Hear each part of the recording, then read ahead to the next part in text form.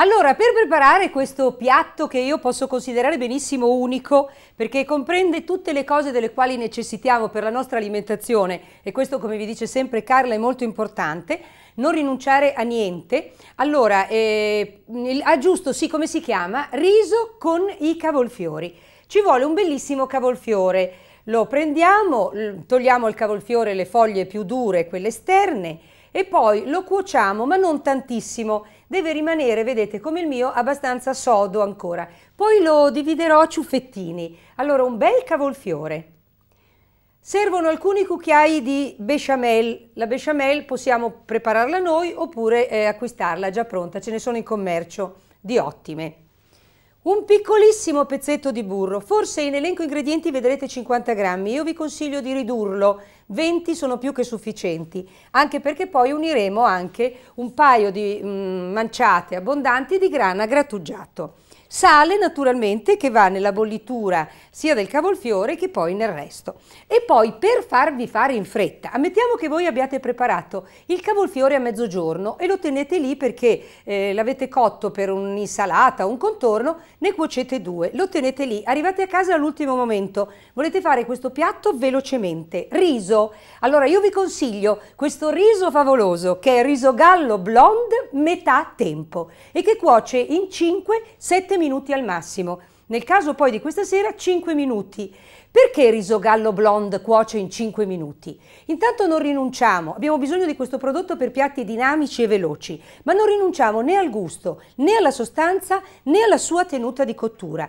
È disidratato, ha tanti fori che sono appunto eh, ricavato di questa disidratazione eh, assorbe subito l'acqua e cuoce velocemente. Riso gallo blonde, metà tempo per la donna dinamica. 5 minuti e lo mettiamo subito subito a cuocere nell'acqua abbondante salata.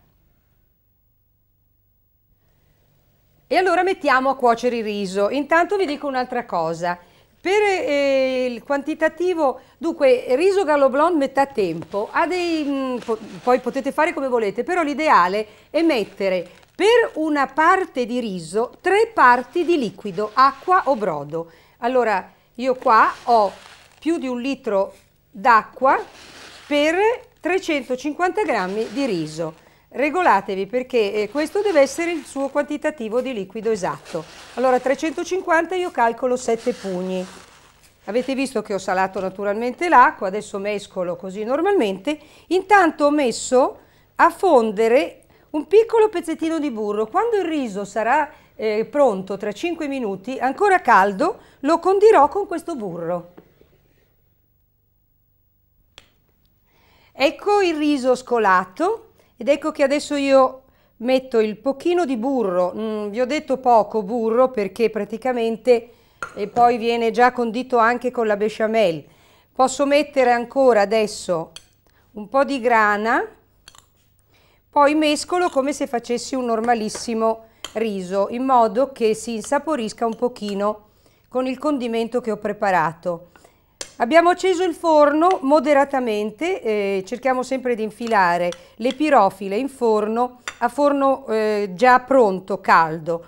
Allora mi serve moderato, pertanto mh, 170 massimo, eh, anche meno, se prendiamo una pirofila che poi possa venire in tavola, come la mia, perché non possiamo poi togliere, ogni commensale si servirà della sua porzione. A questo punto il cavolfiore che è stato ridotto a ciuffetti viene inserito così, aspettate che lo avvicino, lo disponiamo tutto bene sopra il riso infilzando un pochino la sua base, in questo modo in modo che rimanga lì. Come vi ho detto anche il cavolfiore deve essere un po' tosto, non cotto molto perché ora starà in forno ancora per 10 minuti e completerà la sua cottura. A questo punto io copro tutto con la bechamel, ricordate che c'era la bechamel, poi cospargo con un pochino di grana e metto in forno a gratinare, vi ho già detto forno moderato 10 minuti. Che profumino invitante che ha questo piatto, avete visto semplicissimo e come vi ho detto comodamente un piatto unico e direi per sei persone forse perché vedete che è abbondante E poi è proprio buono buono. Servire mi raccomando subito ben caldo.